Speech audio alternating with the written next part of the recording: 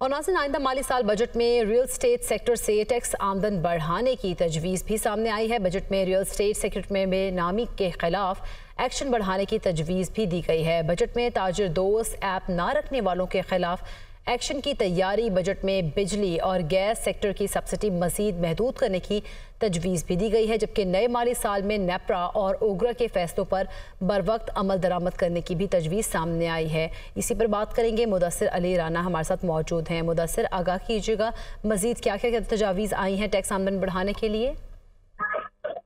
जी, आइंदा माली साल 2024-25 के वफाकी बजट में रियल स्टेट सेक्टर पर टैक्स आमदन बढ़ाने की तजवीज़ जेर गौर है और जराए खाना की जानब से बताया जा रहा है कि बजट में रियल स्टेट सेक्टर में बेनामी के खिलाफ एक्शन बढ़ाने की तजवीज़ है।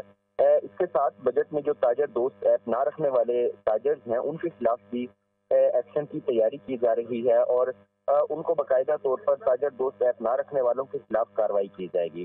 जराए ये भी बता रहे हैं कि बजट में बिजली और गैस सेक्टर की सब्सिडी को मजीद महदूद कर दिया जाएगा। रवा वाले साल के दौरान पर तोानाई के शोबे के लिए तकरीबन एक हज़ार अरब रुपए की सब्सिडी मुख्त की गई थी, लेकिन आइंदा माली साल के दौरान इस वॉल्यूम में तकरीबन दो से तीन सौ अरब रुपए कमी का इम्कान है। जराए की जानब से ये भी बताया जा रहा है कि आइंदा माली साल के दौरान नेपरा और ओगरा के जो प्राइस बढ़ाने के हवाले से फैसले होंगे, उस पर बर वक्त अमल दरामद किया जाएगा और नए माली साल के जो बजट में तरक्याती मनसूबों को भी महदूद करने की तजवीज़ है, जो इंतहाई अहम नोयत के मनसूबे होंगे।